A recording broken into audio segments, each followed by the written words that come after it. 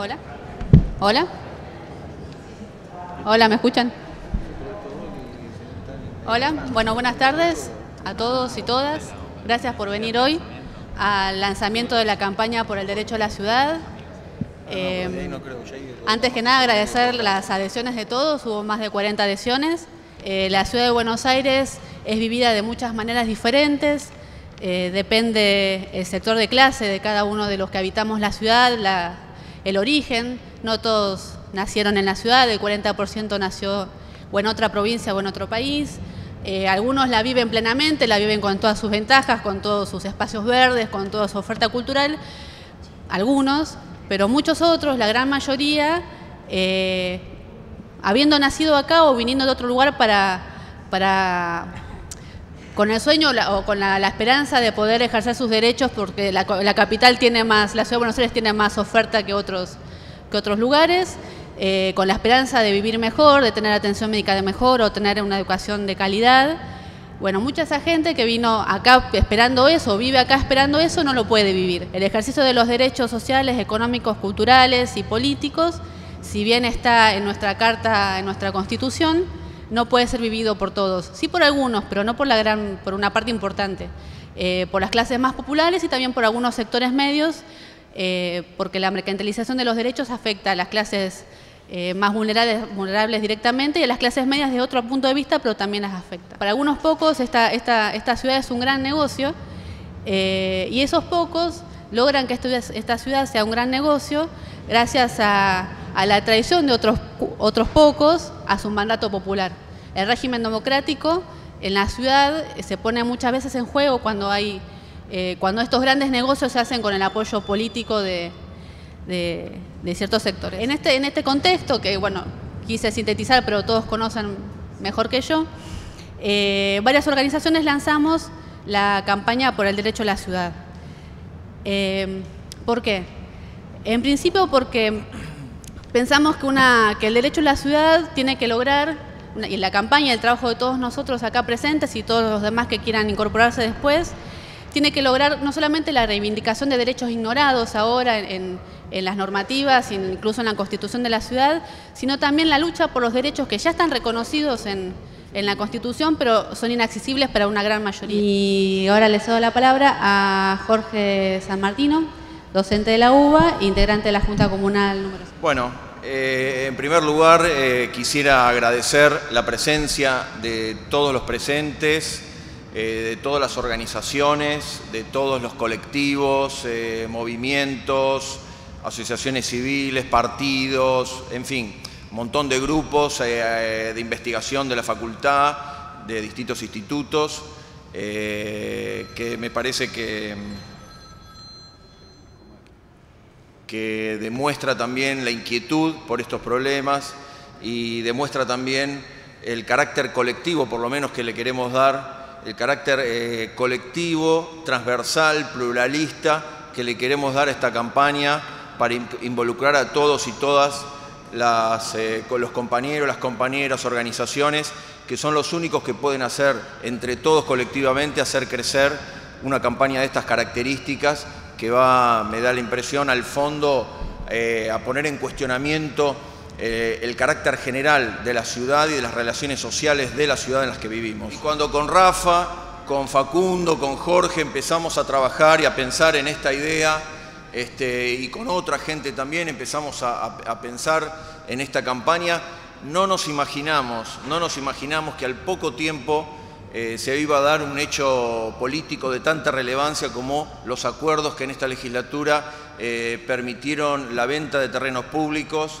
permitieron eh, el acaparamiento para los negocios inmobiliarios y demostraron de una manera que nosotros no pensábamos, demostraron la importancia fundamental que es una campaña por el derecho a la ciudad para oponerle a la lógica a la lógica mercantil, a la lógica de la acumulación capitalista, a la lógica de la ganancia por sobre la vida de la gente, por sobre la ciudad, sobre su calidad de vida, la importancia que tenía este, ofrecer una mirada, una forma, una forma de pensar, una idea totalmente distinta y opuesta, y que en última instancia expresa también eh, esa oposición que, encarnó en tantos eh, sectores, en vecinos, organizaciones populares que se han opuesto, movimientos villeros, en fin, tantas organizaciones que se han opuesto a este acuerdo, que expresa también una verdadera lucha de clases en el terreno del área metropolitana, en el que estamos embarcados frente a este proceso, que me parece que es un proceso de larga data, eh, que es un proceso de mercantilización y de privatización de los espacios públicos, que bueno, este, por lo menos durante el, periodo del neoliberalismo se hizo muy fuerte y que tiene una, especie de filosofía política, que es la de volver a transformar de alguna manera al hombre en un cretino individualista y egoísta, eh, cuyo centro es la propiedad privada eh, eh, y como decía Benham, el acaparamiento eh, de riquezas y la competencia con el otro para tratar de alcanzar la mayor capacidad, la mayor felicidad posible que se mide cuantitativamente en la cantidad, de propiedades que se acumula. Y, esto no siempre fue así, incluso el derecho de propiedad fue, en el periodo precapitalista, fue un derecho de propiedad eh, ambiguo, por ejemplo, Marx, el joven Marx, el demócrata liberal Marx, en 1842, discutiendo sobre los textos de la Gaceta Renana, sobre los debates de la, dieta, eh, de la dieta renana, por ejemplo, denunciaba las intenciones de la apropiación por parte de los terratenientes de, los, de, de la leña, de la leña de los árboles, por ejemplo, que era un bien público, que era consuetudinario, era era un, eh, estaba en las tradiciones populares del campesinado durante siglos. Durante siglos eh, eh, no había un contorno tan específico de la propiedad. La propiedad era compartida, era ambigua. Había aspectos de propiedad y había aspectos de posesión. Había un derecho de posesión y usufructo fundamental e importante. Ese derecho de usufructo, de posesión, es el que confronta con el derecho de propiedad. Y el derecho de propiedad para poder desarrollarse, para poder eh, darle un fundamento sólido al sistema capitalista, tuvo que confrontar de una manera sangrienta con esos derechos de posesión, tuvo que cercar el, campo, tuvo que expulsar a los campesinos. Y ese proceso de desposesión, de expulsión y de fortalecimiento de la propiedad privada es lo que vino desarrollándose a lo largo de todo el, crecimiento y el desarrollo capitalista. Está claro que la idea liberal de democracia, en la cual unos, políticos eh, eh, votados eh, en base a la democracia representativa, que hipotéticamente debían defender el interés general, se han transformado, y esto habría que profundizar en esta discusión, se han transformado con estas medidas en los instrumentos directos del dominio de las, corporaciones inmobiliarias en la ciudad. Es decir, gobernar desde el edificio de IRSA en una conexión íntima de los poderes públicos, de los poderes políticos y del poder económico, como hace mucho que nosotros no veíamos. De una manera tan este, radical, de una manera tan abierta. Y por eso y por eso también tuvo que ser oculto a las 12 de la noche, tuvo que ser este, no publicitado, porque también está la idea de que, esta, de que la, participación en el debate público y en la toma de decisiones por parte de la gente, lo que podríamos llamar una democracia participativa, efectivamente, efectivamente em, eh, es un, un, reaseguro o por lo menos un instrumento que pone límites a ese acaparamiento del poder del capital en este, eh, eh, eh, digo, para, concluir esta reflexión y traigo a colación el tema de la democracia, porque en última instancia me parece que una democracia verdadera, una democracia en la cual el pueblo, la voluntad general se exprese como toma de decisión sobre la vida, sobre el espacio urbano, sobre el trabajo, sobre la asignación de recursos, es incompatible con esa propiedad privada, es incompatible con el régimen capitalista. Y justamente en esta campaña, esta campaña del derecho a la ciudad, es una campaña que defiende los derechos, los derechos, se toma en serio los derechos de la igualdad, la igualdad como concepto, la igualdad en el sentido de los derechos propios más allá, por sobre y más allá del capital. Y en ese sentido, esta, esta campaña me parece que es en un sentido como transicional. ¿Eh? Es una campaña en la cual coloca el problema de la vida, de la apropiación colectiva del espacio urbano eh, como una bandera frente a la lógica a esta lógica del capital. Y bueno, y en esto me parece que, hay que apostar. Es una apuesta, una apuesta a la utopía en el sentido de que no sabemos si esto es posible o no, y será posible si esto está acompañado y en palma con las grandes luchas populares en la resistencia y en la defensa del espacio público frente a la mercantilización eh, del, del espacio urbano y en general de la vida. Así que bueno, muchas gracias.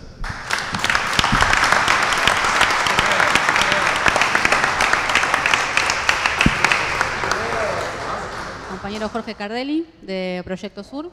Bueno, gracias por la, por la invitación y bueno, también porque uno este, protagoniza la posibilidad de, ir empujando esta idea o este movimiento por el derecho a la ciudad o podría ser mejor el derecho a poder cambiar la ciudad en la dirección de la ciudad que nosotros queremos, porque esta sería la verdad. Porque a lo mejor tener derecho a esta ciudad capaz que no es lo mejor, capaz que tendríamos que modificar o transformar esta ciudad para que realmente sea una ciudad para todos. Yo quería trabajar acá dos o tres ideas. Hay una primera idea que, bueno, Maristela Esbampa, la gente de 2012 y muchos de los luchadores de los movimientos sociales contra los movimientos sociales antimineros y demás vienen planteando esta idea de, esta idea de Harvey, de David Harvey, de famosa acumulación por desposesión. Y que también y que, bueno, nosotros hemos visto mucho esta idea a lo largo y lo ancho del país, en la denuncia de los últimos años, en el tema del agronegocio, donde se van apropiando de la tierra, la gente va perdiendo su tierra, algunos no tienen título, este, y luego viene otro y le dice yo tengo el título de propiedad de tu tierra, o si no se la compra, o 25, muchísimos mecanismos a través del cual la tierra se va concentrando y se va desarrollando este modelo del agronegocio que a su vez está muy ligado al capital financiero. En ese sentido hay un cierto hilo común con esto que estamos viendo acá en la ciudad, el crecimiento este, de determinados negocios inmobiliarios, eh, donde, este, bueno, hay cosas que son eh, interesantes este, de señalar, en el sentido que no, es negocio inmobiliario, pero también hay que verlo que es parte de un negocio financiero, en el sentido de que, eh, por ejemplo, la valorización de los terrenos, para dar un ejemplo práctico, creo que en los últimos, yo tengo algunos numeritos acá, pero creo que en los últimos años, entre el 2004 y el 2011, los terrenos triplicaron o cuatriplicaron su, este, su valor. Por ejemplo, el precio del terreno hoy es entre el 30 y el 50% de una construcción, cuanto antes históricamente a lo mejor era entre el 15 y el 20%. O sea que una misma construcción, si la ponemos en un lugar o la ponemos en otro, automáticamente su precio se multiplica y luego también la renta se multiplica. O sea que acá hay un mecanismo por el cual el espacio mismo el espacio mismo se ha convertido en un lugar productor de renta. O sea que desde ese punto de vista, esto es parte de un negocio este, financiero también. ¿no? Y en este negocio financiero decididamente está participando el Estado, porque es el Estado el que de alguna forma, a través de diferentes mecanismos, le genera la condición de infraestructura necesaria para que esto eh, sea posible.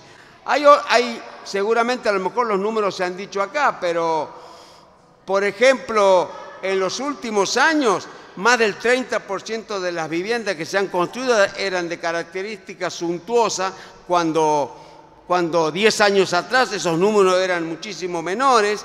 O otros ejemplos es, este, eh, bueno, una cantidad importante de la población que se ha ido creciendo en la ciudad de Buenos Aires, aproximadamente la mitad de esa población se ha ido desplazando a las villas o a los asentamientos o demás. O sea, evidentemente lo que uno no puede dejar de ver es que en, este, en esta idea de, eh, eh, quiero juntar de vuelta, esta idea primera de que las corporaciones o el capital transnacional realmente opera en el plano del agronegocio de diferentes formas, opera en el plano de la minería de diferentes formas, de alguna manera acá también lo tenemos que estar viendo y fundamentalmente a través de lo financiero. Y en ese sentido, el fuerte compromiso que tiene el Estado. Por eso, en ese sentido,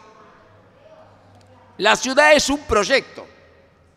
Eh, digo, la ciudad que tenemos, uno podría pensar que, bueno, se fue deviniendo por, por, diferentes causas históricas y uno hasta podría decir que no hay ninguna intencionalidad. Pero la realidad es que uno, si va mirando la, trama de cómo se ha ido constituyendo esto, podemos decir que esta ciudad es producto de un proyecto político ideológico. Y hoy el, hoy el macrismo y los K, en este caso el gobierno de la nación, en este punto tienen una unidad de acero, pero de acero, porque así como simultáneamente el gobierno nacional es absolutamente comprometido en la causa del agronegocio, en la causa de la minería a cielo abierto, también acá el macrismo en la ciudad es absolutamente comprometido en el negocio inmobiliario y más concretamente hacen actividades de asociación, actividades conjuntas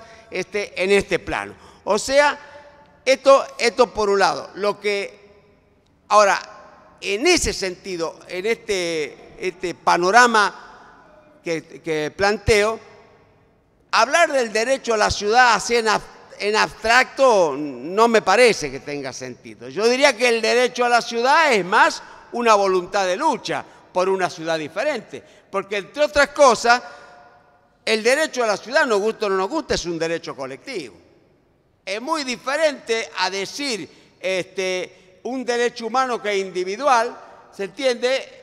A un derecho que solamente se puede ejercer si lo ejercemos colectivamente. No puede haber un individuo solo que ejerza el derecho a la ciudad porque se le garantiza en el uso a los servicios. El derecho a la ciudad es el derecho a poder cambiar la ciudad para establecer la ciudad que queremos. Este me parece que es el, es el punto central. Por eso digo, es un derecho humano, pero es un derecho que la lucha presupone la construcción de una voluntad política, presupone la construcción de una voluntad de poder que desde un determinado gobierno se haga cargo en la transformación de una ciudad que tenga características diferentes y entre otras cosas ponga en juego qué tipo de relaciones sociales queremos tener, qué tipo de relaciones con la naturaleza queremos tener, en fin, que ponga en juego otro tipo de cosas. Eh, hoy el, debate se, centra en el derecho a la ciudad y creo que en realidad, por lo menos con este contexto, estamos en una etapa de resistencia de la ciudad. De resistencia a todo este tipo de pactos espurios, acordados entre gallos y medianoches, con proyectos que ingresan a la labor parlamentaria a un mediodía y son aprobados a la tarde sobre tablas. Una situación muy difícil de abordarlo desde lo institucional. Claramente la respuesta está en la calle, la respuesta está en la movilización. Hay una obligación de todos, de todos nosotros, los que estamos acá y del resto de los sectores populares, de meter esta problemática en la agenda pública de la ciudad la agenda pública de la ciudad está siendo eh, tapada, bloqueada, blindada por los medios hegemónicos, oficialistas del gobierno nacional y opositores al gobierno nacional, porque son ambos los que viven de la pauta de publicidad oficial, tanto del kirchnerismo como del macrismo. Eh, me parece que es importante también caracterizar un poco a, a, estos grandes desarrolladores, ¿no? porque digo, el conflicto está dado entre, obviamente, la gestión de la cosa pública, hoy en manos de, lamentablemente, de, estos dos espacios políticos. Uno que es un grupo de empresarios que asaltó la ciudad de Buenos Aires, digo, eso es el macrismo, no, es otra cosa, tiene su ramificación, debe tener su, tiene su, estructura política, pero es un grupo de empresarios que asaltó la cosa pública en la ciudad, que desde siempre supo que ese era el fin, digo, y ahora se está viendo, y, encuentra, coyunturalmente o no, sus aliados en el, Frente para la Victoria. Eh, la parte privada, podemos poder al modelo de ILSA. ILSA es una empresa que en realidad era una empresa familiar que se creó en la década del 50, pero que crece a partir de la globalización del neoliberalismo. Ahí viene el desarrollo de IRSA. Antes, durante la década del 80, estas constructoras, que eran más de tinte familiar, de, envergadura para la Argentina, pero de tinte familiar, por ejemplo, construían cinco edificios de oficinas al año. A partir de la década del 90 cambia el modelo y la escala. Pasan a tener grande escala de inversión con obviamente una gran escala en, la plusvalía. Este es el, sistema que se ha modificado durante dos minutos, eh, durante la década del 90. A partir de ahí viene este el, proceso que nosotros estamos conociendo. Eh, de, hecho ya no son eh, constructoras, digo, son fondos de inversión. INSA es famoso porque fue a tomar deuda a Estados Unidos al 2% y la colocó acá al 12%. Dueño de IRSA también, parte de IRSA es el ANSES, porque el ANSES al, estatizar las FJP, las FJP habían invertido en IRSA y ahora el ANSES es dueño de parte de IRSA.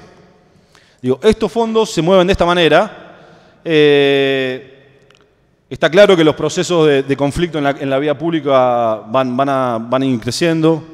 Eh, el, jueves pasado se estaba por organizar la, marcha a la legislatura de muchísimas organizaciones que se suspendió porque no hubo sesión y porque, bueno, algunos problemas operativos a solucionar cuando somos tantos, pero sí pasaron compañeros por el predio que era parte del recorrido, que es el, Hotel eh, Indoamericano, no, ¿cómo se llama? Intercontinental, eh, que está acá a dos cuadras, que es de IRSA, que en el piso 22 está la oficina de IRSA, y el operativo de seguridad planteado para la preservación de ese inmueble no dista mucho de cualquier operativo para defender a un primer mandatario que venga a visitar la Argentina. Entonces, por lo tanto, digo, la resistencia está en la calle, los procesos de organización se tienen que dar ahí, tiene que venir un, proceso de, mucho sinceramiento por parte de la voluntad de las organizaciones, más allá de las diferencias políticas, y, y obviamente acumular capital político para las discusiones que se vienen. Estos procesos, estas leyes pueden ser aprobadas, tienen las mayorías para ser aprobadas. Pero el, debate es posterior. Digo, el, debate es cómo, eh, el movimiento popular de la ciudad de Buenos Aires resiste los embastes que se van a generar a partir de la implementación de esta normativa. Gracias.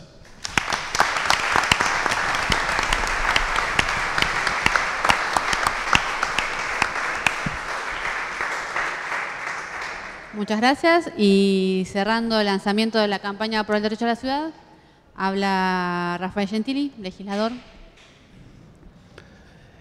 Esta propuesta que nosotros tiramos al ruedo de resumir en un derecho que, como bien dijo Pedro, es el derecho a vivir, todos los derechos por los cuales desde nuestras organizaciones, desde la legislatura, desde el claustro universitario, venimos peleando todo de hace muchos años.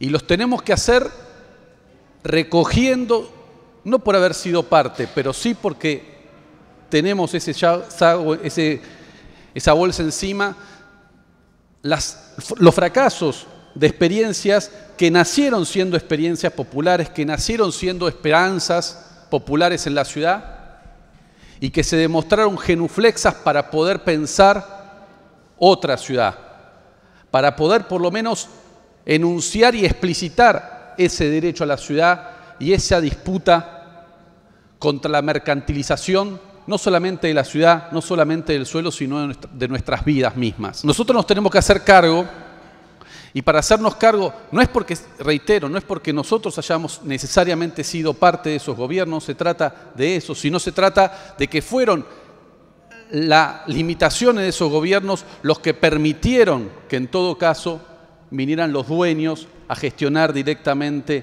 la ciudad sin ya las intermediaciones de la política. Y eso es lo que vemos hoy expresarse en la legislatura. Pero es cierto que nosotros, los que tendemos una tendencia a, intelectualizar todos, nos acoge el pesimismo de, de la razón, pero también es cierto que tenemos el optimismo de la voluntad. Y es con ese optimismo que tenemos que encarar no solo la resistencia, no solo superar nuestras divisiones para resistir este avance neo-desarrollista, mercantilista que nos ofrecen para vivir en la ciudad, para que vivan ellos en la ciudad. Si no tenés también, el mayor desafío que tenemos es dotarlo de una propuesta programática viable, capaz de hacerse cargo de esto para gobernarlo, para cambiarlo tenemos que ser capaces de verbalizar, de mostrar, de hacer visible esa otra ciudad que nosotros queremos. Y por eso es que nosotros ofrecemos este espacio de la campaña por el derecho a la ciudad, que a partir de hoy va a ser y va a seguir de acuerdo a lo que el colectivo de organizaciones y, personas políticas se fueron sumando, adhiriendo a esta campaña para ver qué nos bancamos a hacer, para resistir, pero insisto, para proponer otra visión. A mí me hubiera gustado que cuando nosotros discutiéramos, que todavía no lo discutimos, todavía no lo pudimos discutir en el recinto, yo espero que ese día nunca llegue, pero tenemos que estar preparados para que llegue cuando se discute en el recinto el proyecto de Solares de Santa María. Uno de los argumentos que nos pone la derecha es que con eso hay que hacer algo. Es un baldío. No puede seguir así. Y si uno va, se acerca a la zona, claramente hay que hacer algo. Nos falta mostrar que ese es algo que nosotros haríamos. Y cuánto más nosotros lograríamos imponer a esa confrontación con maquetas pagadas a estudios y con todos los recursos para mostrarnos eso lindo, entre comillas, poder mostrar nosotros también qué es eso que nosotros le contraponemos a ese modelo de IRSA de ciudad. Nosotros tampoco tenemos proyectos que vialicen esa ciudad. Y nosotros tenemos, tenemos los proyectos que están parados por decisión política y que el otro día hubo una charla acá, que es otra de las experiencias muy interesantes de autoconstrucción de vivienda en la ciudad de Buenos Aires. Que cuando se empezaron a ver, empezaron a hacer una cuña de lo que se podía hacer de otra manera en la ciudad de Buenos Aires. Proyectos que como no tienen recursos, eh, eh, muchos de ellos luchan contra la falta de recursos del gobierno nacional, del gobierno de la ciudad. Pero ahí hay una muestra de cómo es otra forma de construir nuestra ciudad, la ciudad que nosotros deseamos y la ciudad que nosotros creemos que todos merecemos vivir. Y para no aburrir, rescato esto que decía Jorge, de paralelismo con las luchas contra el, agronegocio o contra la minería a cielo abierto en la cordillera. Nosotros decíamos que Irsa es a la ciudad lo que la Barrigol es a la cordillera. Y ahí quiero contraponer a que empecemos a pensar la ciudad como un bien común. Ya salir de, de la idea de los recursos naturales como se estaba saliendo en la discusión por el ambiente y la lucha contra la megaminería, ya se está dejando de hablar de recursos naturales para empezar a hablar de bienes comunes. Y empezar a meter a la ciudad también como ese bien común, porque finalmente el 80% de la población se prevé que va a vivir en ciudades.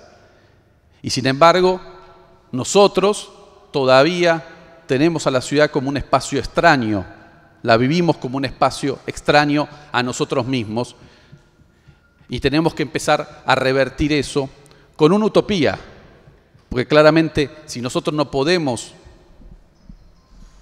no podemos construir, entre comillas, vender una utopía por el derecho a la ciudad, muy difícilmente podamos cambiar esta correlación de fuerzas. Y quiero hacer un último un llamado a todos. Claramente nosotros tenemos una ubicación política, una ubicación política y una ubicación política partidaria. Pero eso para nosotros nunca lo fue, ni mucho menos lo es hoy, un obstáculo para construir mancomunadamente con otros compañeros y compañeras que tienen otra, como decía Facundo, otra visión política, apoyan otro proyecto político. Y lo demostró este conflicto y esta resistencia que surgió espontáneamente desde las bases contra los proyectos y el acuerdo PROCA. Nosotros estamos dispuestos a llegar a los acuerdos mínimos necesarios para avanzar, para avanzar en la resistencia, pero también para avanzar en ese proyecto común por un derecho a la ciudad, dejando de lado los desacuerdos en el campo nacional, porque mientras nosotros no dejemos de lado esos desacuerdos que pueden ser transitorios o no, el tiempo lo dirá, mientras nosotros no, podemos, no, dejemos de lado esos desacuerdos, va a ser difícil que nosotros podamos construir esa propuesta que plasme, programática que plasme una opción viable y competitiva para gobernar la ciudad en el 2015 o en el 2019, en el tiempo que dé. Pero nosotros tenemos que ser capaces de unirnos, de convivir y de tener un plan de acción conviviendo con esas diferencias que podemos tener en el plano nacional, porque nuestra principal responsabilidad como militantes políticos es que la derecha deje de gobernar la ciudad de Buenos Aires. Esa es la prioridad número uno. Nosotros ofrecemos esta mesa para debatir, para encontrarnos. En la calle nos encontraremos, pero también tenemos que tener un espacio donde podamos eh, juntarnos para construir nuestra propuesta, esa propuesta que nos lleve a transformar la ciudad para todos. Muchas gracias.